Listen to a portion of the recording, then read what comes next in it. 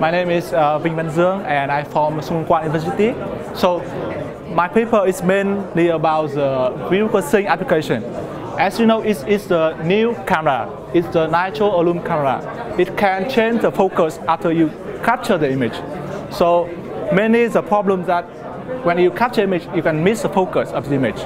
But in, with this camera, you can change the focus after you capture the image. So in, in the, the main purpose of this, this my paper is when we uh, this data capture a lot of data, but if you want to send the user, you need to compress this. But conventionally, if you can compress by this way, is the data is still so much. So in order to reduce further the data, you need to uh, uh, reduce the data more to uh, in a real application.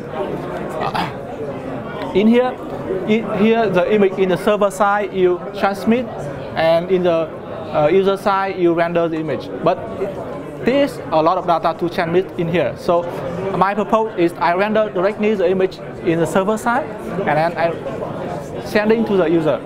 So it can reduce a lot of data. It's about 54% in here, with reduce compared with the uh, tra traditional one.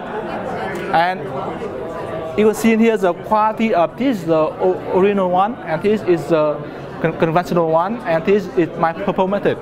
And in shown here, the, the texture in here it still remain. It means it's really good quality compared with the traditional one. So that's all my say.